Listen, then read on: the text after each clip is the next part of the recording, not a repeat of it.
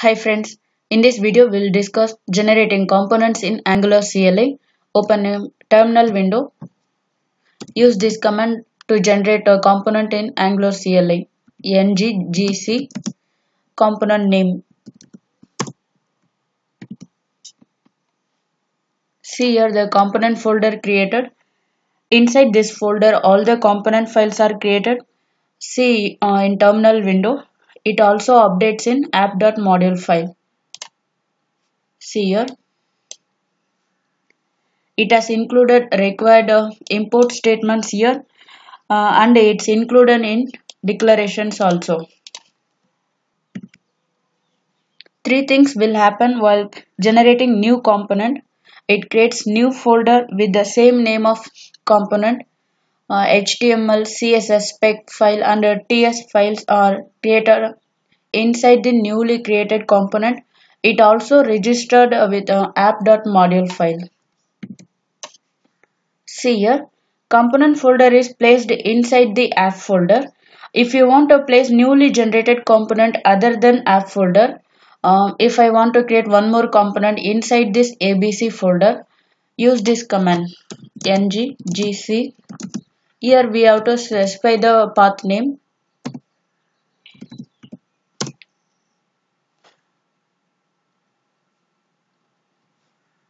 The new component is created inside this folder. Okay. By default, Angular CLI is generating new folder for every new component. I don't want a new folder. Instead, I want to place all the component files inside the app folder. For this, use this command nggc def hmm. already given. Jkl use dash dash flat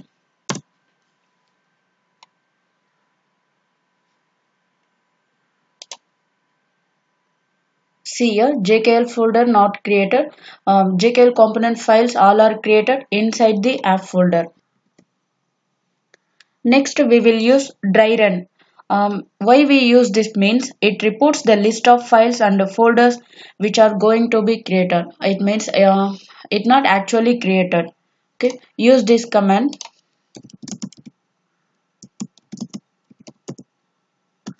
Dash d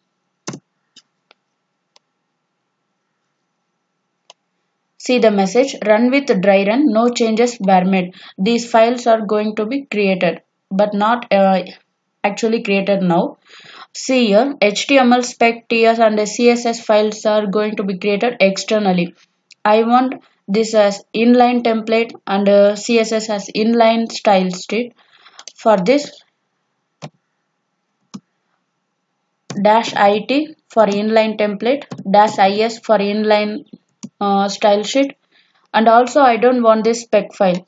For this use um, spec dash dash spec equal to false. Press enter.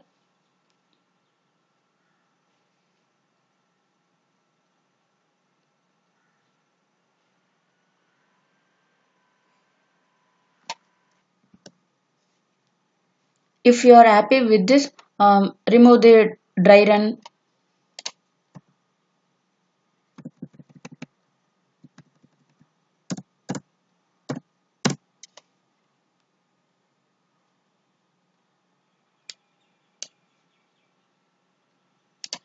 see here only two files created.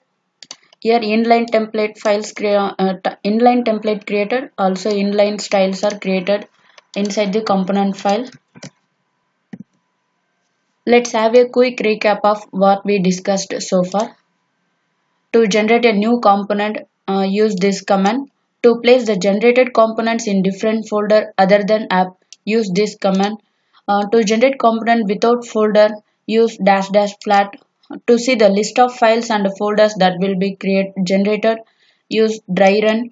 To generate a component with an inline template and inline styles, this is the syntax. Um, dash it for inline template, dash is for inline style. If you don't want the spec file, use dash dash spec equal to false. In our next video, we will discuss how to generate modules in Angular CLI. Thank you for watching this video.